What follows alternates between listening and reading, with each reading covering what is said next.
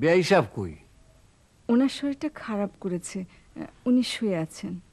As a matter of fact নিঃশ্বাস পড়ছে কি পড়ছে না এরকম অবস্থা। তাই না আম্মা? এই অবস্থা? বাবা তুমি গিয়ে মবিনকে নিয়ে এসো। জি আম্মা।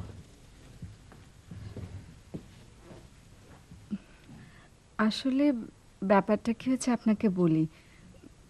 মেয়ে পক্ষ থেকে মবিনকে দেখতে এসেছে এটা ওনার মনে খুব লেগেছে। উনি রাগ করে শুয়ে আছেন। বেআইন সাহেব ছেলে আমার দেখার দরকার নাই। আপনারা দেখছি এই যথেষ্ট। এই পরিবারে যদি শেহরজানের বিবাহ হয় এটাই ও তার লাগি একটা বিরাট ব্যাপার।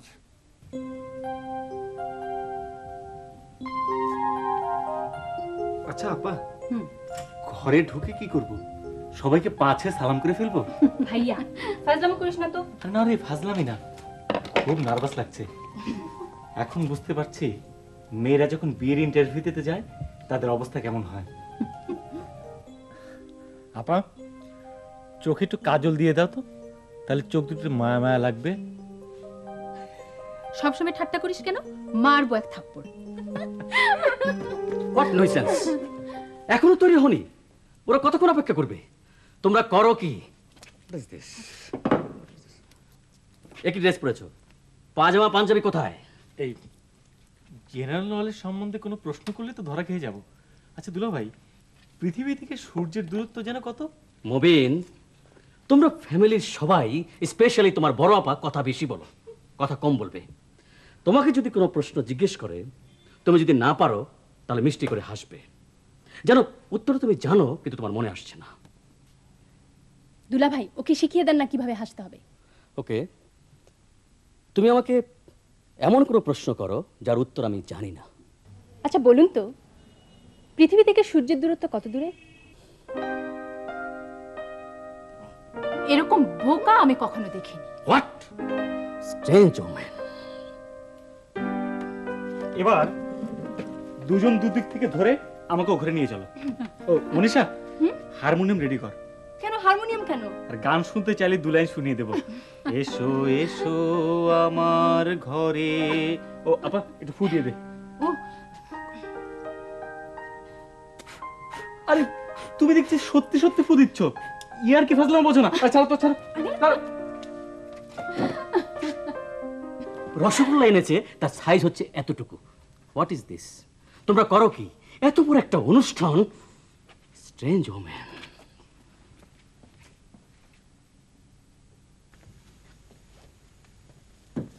বলো সালাম আলাইকুম।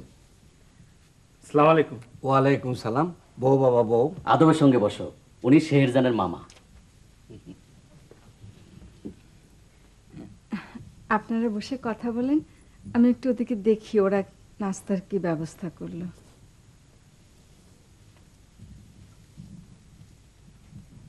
বাবা তুমি ভালো আছো নি? জি ভালো। বাবা আমার বাগনি আঠারো তারিখ দেখাইব। তুমি এই দিন এয়ারপোর্টে উপস্থিত থাকতে পারবে? অবশ্যই পারবে। ওর তো কোনো কাজকর্ম নেই। বাবা তুমি নামাজ পড়ো? জি পড়ি। রেগুলার না। বাবা তুমি কোরআন শরীফ পড়তে পারো? জি পারি। মার্শাল্লাহ শুনিয়া খুব আনন্দ পাইলাম। কত বাবা কোরআন শরীফ কয়টা সুরা আছে? আচ্ছা বাবা তুমি জানো নি হাসি থেকে বুঝছি তুমি জানো না। তোমার জানা উচিত। কোরআন শরীফে একশো চোদ্দোটা সুরা আছে আর আয়াতের সংখ্যা ছয় হাজার ছয়শো ছয়ষষ্টি বাবা মবিন তোমারে আমার খুব পছন্দ হয়েছে ছেলে অত্যন্ত ভালো অসাধারণ। যদিও আমার শ্বশুর সাহেব কথায় কথায় বলেন গাধার বাচ্চা। আমার তো একটা গাধার বাচ্চারই দরকার।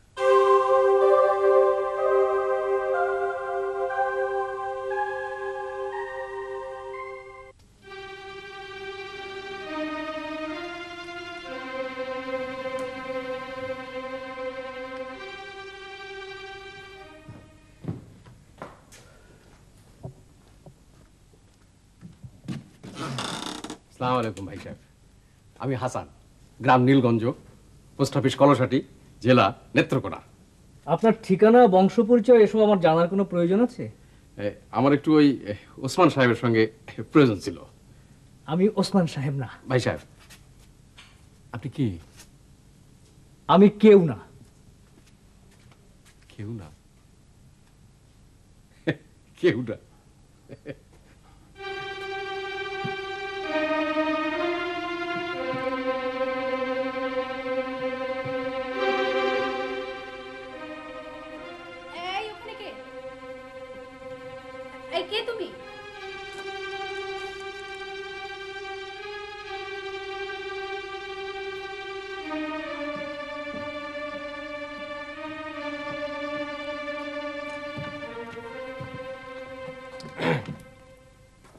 তুমি? আমার নাম হাসান। বাড়ি নীলগঞ্জ পোস্ট অফিস কলসহাটি জেলা নেত্রকোনা।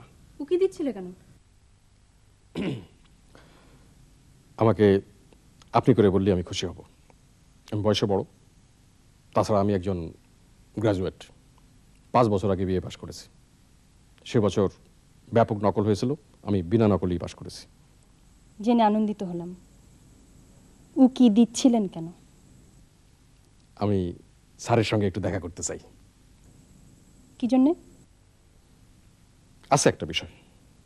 আপনাকে বলা যাবে না ওনাকেই বলব। আচ্ছা ঠিক আছে বলেই ফেলি। আমার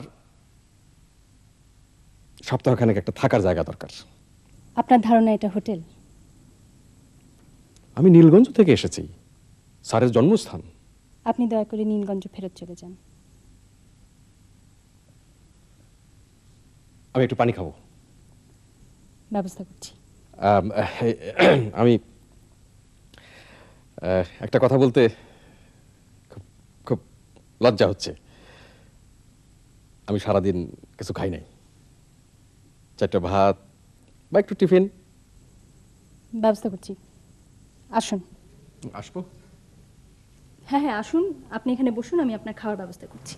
ফুলি আয় ফুলি এই। শোন এনার খাওয়ার ব্যবস্থা করো এখানে। আপনার অশেষ মেহরবানি। আপনার ব্যবহার থেকে বোঝা যায় যে আপনি খুব খানদানি ঘরের মেয়ে। ম্যাডাম আপনার নামটা যেন কি? আমার নাম জানবার প্রয়োজন নেই। খেতে চেয়েছেন? খেতে দিচ্ছি। ম্যাডামের নামটা যেন কি? মনীষা আফা। বাহ বড় খানদানি নাম। আপনার নাম কি? ফুলি নামটাও খারাপ না। যাক খাবার ব্যবস্থা করুন।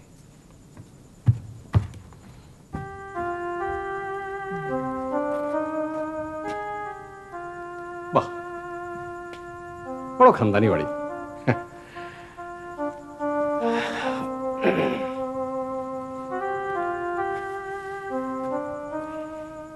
কুড়ি একুশ বছর আগের ব্যাপার এত পুরনো রেকর্ডপত্র থাকে না। একটু চেষ্টা করে দেখুন না। বসুন। খরচাপাতি করতে পারবেন? কত টাকা লাগবে? আপাতত হাজার খানিক দিন। এক হাজার টাকা?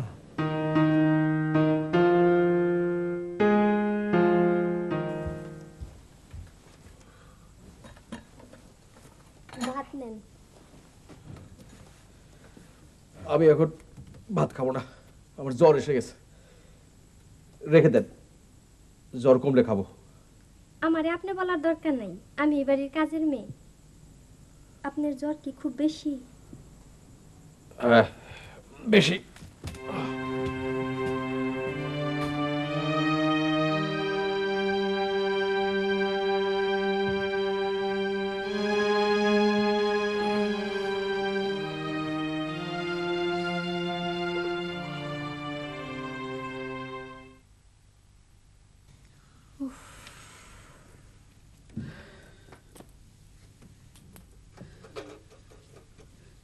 যন্ত্র বোধহয় নষ্ট।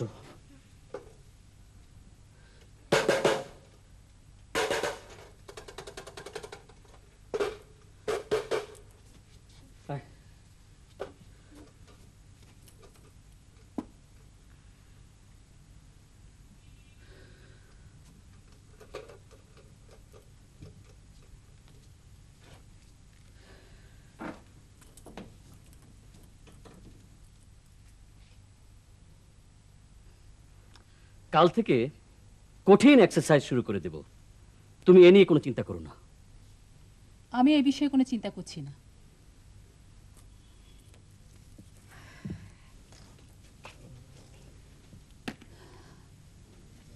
আচ্ছা তুমি যে দিনের পর দিন এখানে পড়ে আছো তোমার চাকরির কি অবস্থা? চাকরি আছে না গেছে? এক মাসের ছুটি দরখাস্ত করেছি। দরকার হলে এক্সটেন্ড করব। তোমাদের না নিয়ে যাব না। আমাদের না নিয়ে যাবে না। না। এন ও নো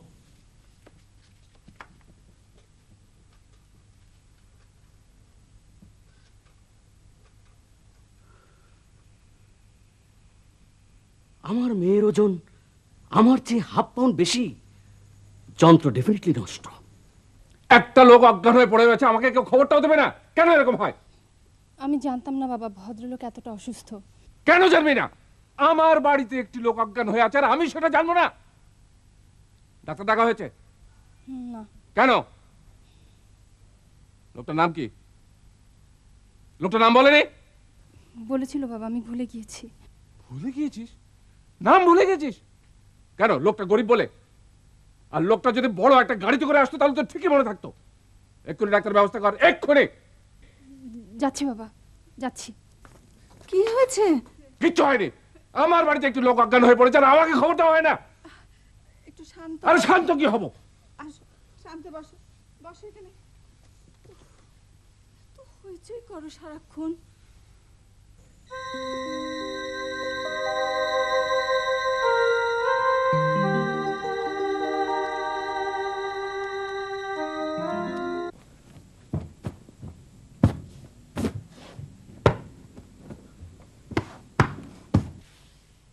ভাই আসব?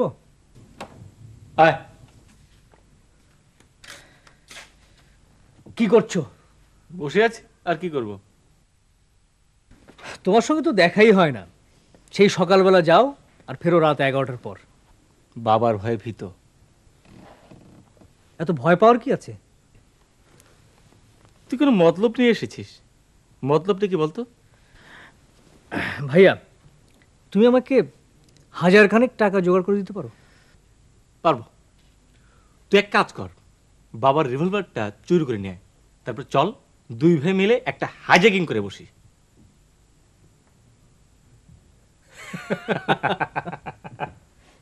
শোন, কয়েকটা দিন ওয়েট কর।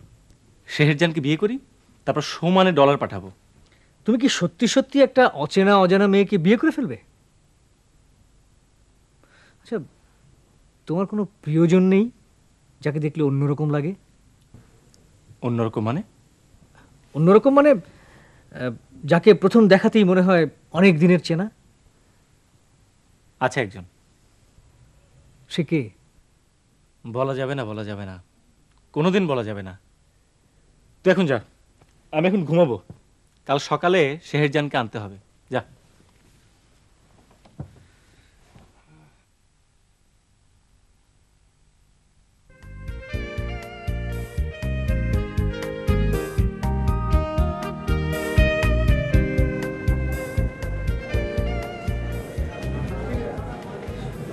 কেমন জানি বেগুবের মতো লাগছে মামা।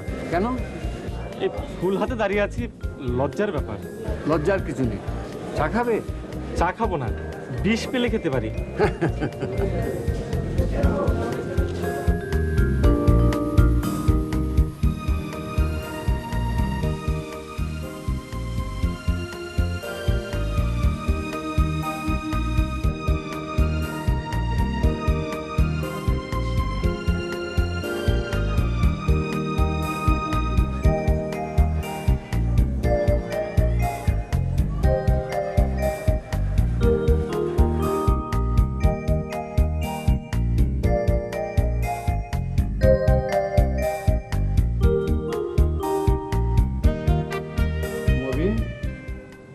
শেরজান তো আসে নাই।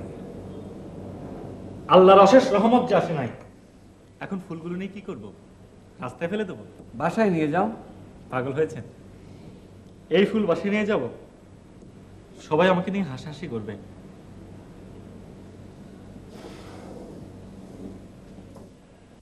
পরি শোনো। ও আল্লাহ আপনি? আর লোকজন কোথায়? তোমার বাবা বোন? ভিক্ষা করতে গেছে। এখনও ভিক্ষা করে? পুরানা অভ্যাস সহজে যায় না। এটা না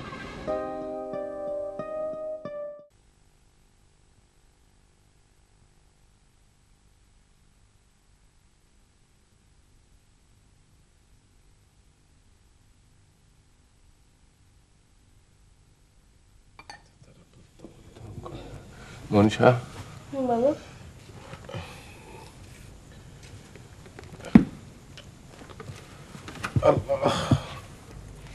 কিছু বলবি বাবা? হ্যাঁ। নামাজ পড়েছিস মা? হ্যাঁ পড়েছি বাবা। তোর মার জন্য মনোজাত করেছিস? করেছি। একটা জিনিস মনে রাখবি। আল্লাহর কাছে নিজের জন্য কিছু চাইবি না। সব সময় অন্যের জন্য চাইবি।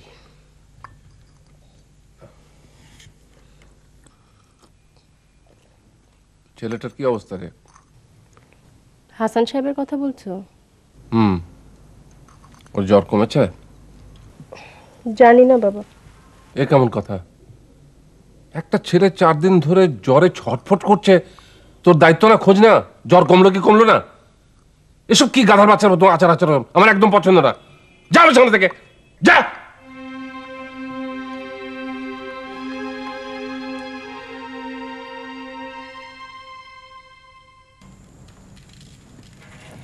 খা রে পাখি খা টকটকাইয়া খা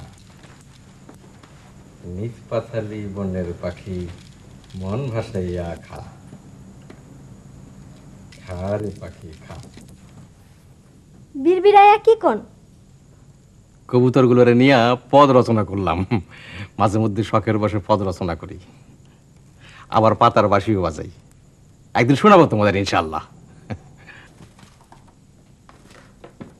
খা পাখি খা টকটকাইয়া খা নিজ পাখালি বনের পাখি মন ভাসাইয়া খা খা রে পাখি খা এই যে শুনুন। সালাম আলাইকুম। ওয়ালাইকুম সালাম। আপনার জ্বর কি কমেছে? জি এই কাল রাত আনুমানিক দুই ঘটিকার সময় আরোগ্য লাভ করেছি। প্রথমে খুব ঘাম হলো তারপর দেখি জ্বর নাই। শুনে আনন্দ লাভ করলাম। বাবা আপনাকে ডাকছেন যান। জি আচ্ছা। ওনার অশেষ মেহরবানি।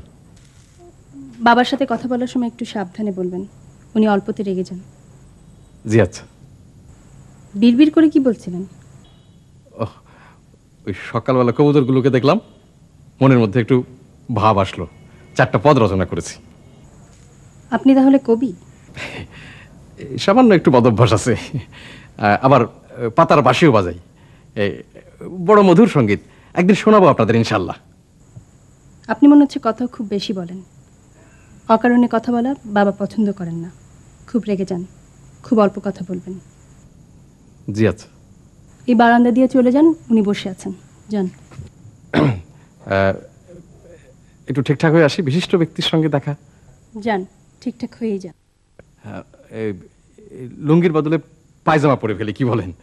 আমাকে জিজ্ঞেস করার দরকার নেই। যা পড়তে ইচ্ছা করছে পড়ে যান। পায়জামার আবার ইস্তারি নাই। আপনার কাছে ইস্তারি পাওয়া যাবে? না পাওয়া যাবে না।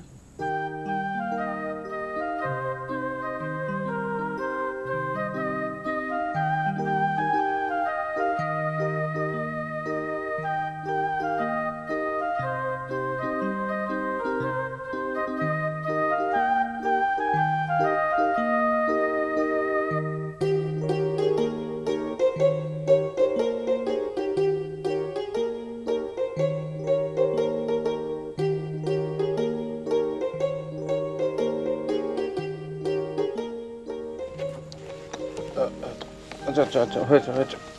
বসো। জ্বর কমেছে?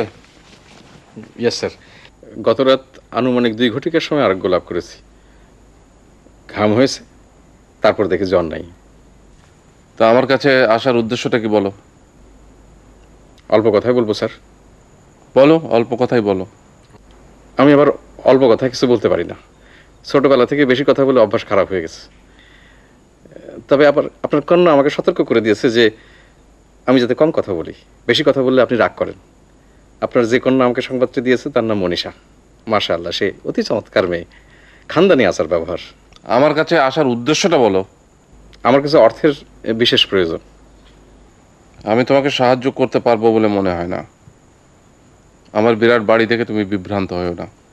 আমার আর্থিক অবস্থা খুবই শোচনীয়। আমার স্ত্রী অসুস্থ। আর হাসছো কেন?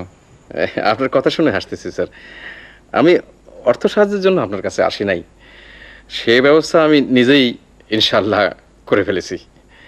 আমার শুধু প্রয়োজন কয়েকটা দিন থাকার মতো একটা জায়গা। চার পাঁচটা দিন থাকতে পারলেই আমার ব্যবস্থা হয়ে যাবে। কি ব্যবস্থা? আমি আমার একটা কিডনি বেছে দেবো। আল্লাহর অশেষ মেহরবানি কিডনির বাজার এখন খুব ভালো। ক্ষেত্র বিশেষে লাখ টাকা পাওয়া যায়। তোমার অর্থের এতই প্রয়োজন যে তুমি কিডনি বিক্রি করে দেবে। আমার টাকার তেমন কোনো প্রয়োজন নাই। আমি একা মানুষ লাখ টাকা দিয়ে করবোটা কি?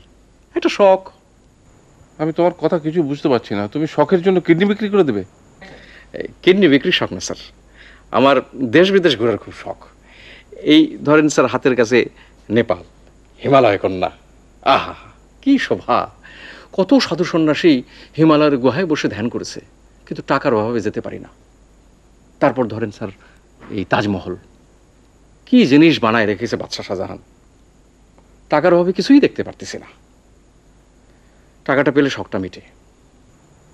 শখের কারণে তুমি শরীরের একটা অংশ বিক্রি করে দেবে? শখ কোনো তুচ্ছ করার বিষয় না স্যার। মানুষ আর বাঁচে কয়দিন? ফট করে একদিন আজরাইল এসে বলবে চল বেটা যাই। শখে যদি মেটাতে না পারলাম তাহলে মানুষ হয়ে জন্মে আর কি লাভ? নেড়িকুত্তে হয়ে জন্মালে ক্ষতি কী ছিল স্যার? কথাটা ঠিক বলেছি স্যার। কি জানি তুমি ঠিক বলছো কি না বলছো আমি কিছুই বুঝতে পারছি না। ঠিক আছে তুমি ওই কিডনি বিক্রি করার জন্য যে কদিন থাকার দরকার থাকো। আপনার অশেষ মেহরবানি স্যার। আরে আরে আচ্ছা, ঠিক আছে ঠিক আছে বারবার পায়ে হাত দিতে হবে না।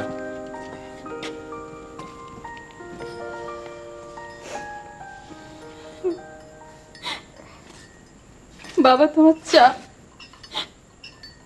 কি হয়েছে? কাঁদছিস কেন? এমনি। এমনি আবার কেউ কাঁদে নাকি? ব্যাপারটা কি?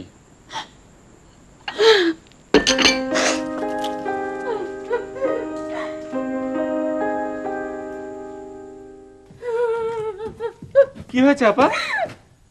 কিছু হয়নি। ভেউ ভেউ করে কাঁদছো আর বলছো কিছু হয়নি? প্রবলেমটা কি? তো দুলা ভাই দুলো ভাই কি করেছে?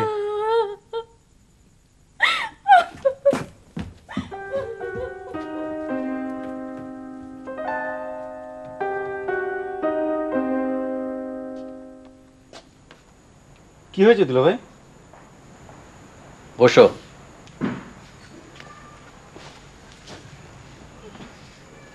মন দিয়ে পড়ো।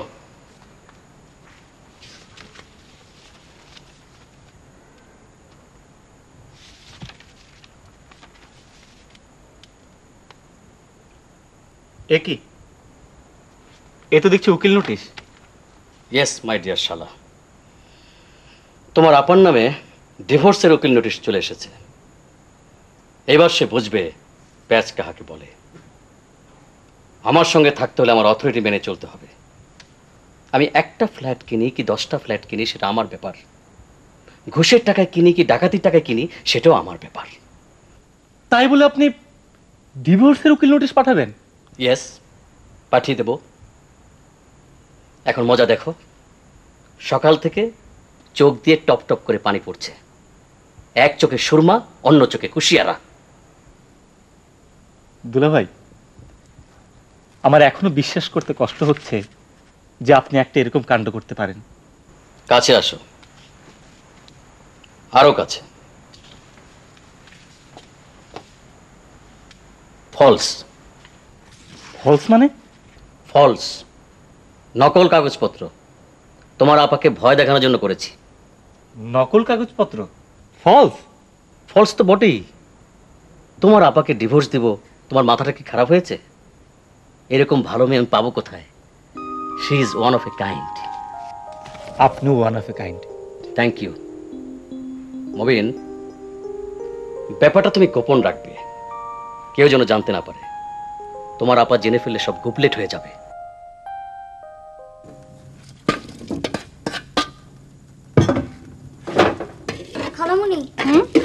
নানু তোমাকে ডাকে আসছি। তরকারিটা একটু নামিয়ে দিয়ে যাই তারপরে। মা কাঁদছে কেন খালামুনি?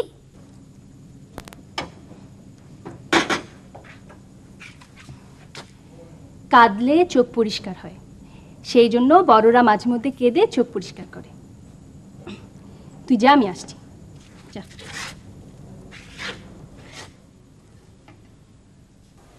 ডেকেছো কেন মা?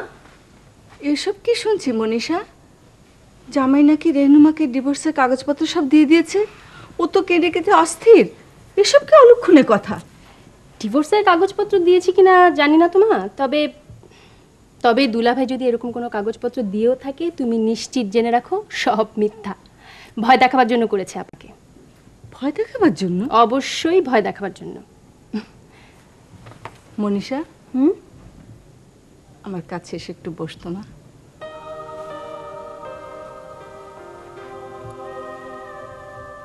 তুই আজ ইউনিভার্সিটিতে যাসনি? না। কালও তো যাসনি। না।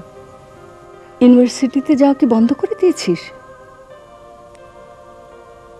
হুম। যাচ্ছিস না কেন? আমার আমার কিছুদিন ধরে কেন যেন কোথাও যেতে ইচ্ছে করছে না মা।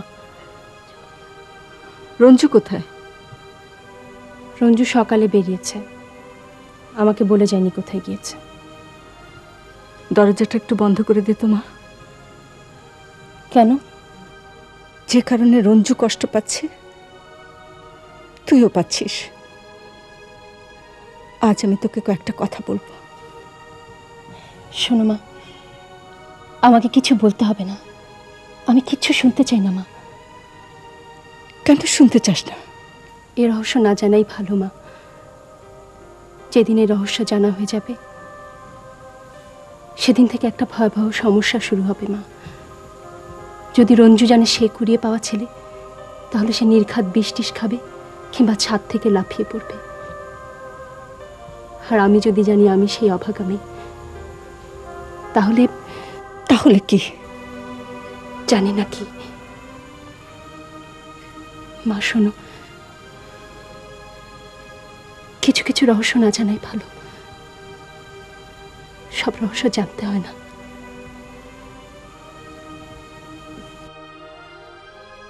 চাই মা।